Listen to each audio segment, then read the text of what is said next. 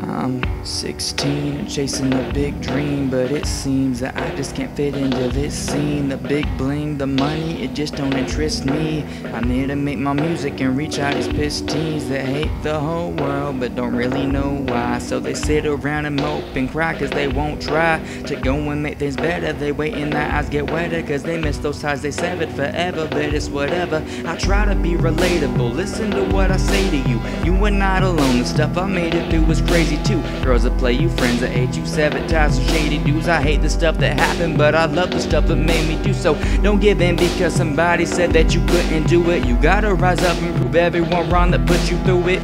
Remember, the hate is fuel for the fire. After you prove them wrong so many times, those dudes will get tired. And I know that it sucks right now, but all that hate's a helpful tool. The more negativity brought, the more they're helping you. Just remember all the love along the way you dealt with too. And don't try to prove yourself to them, just prove yourself to you.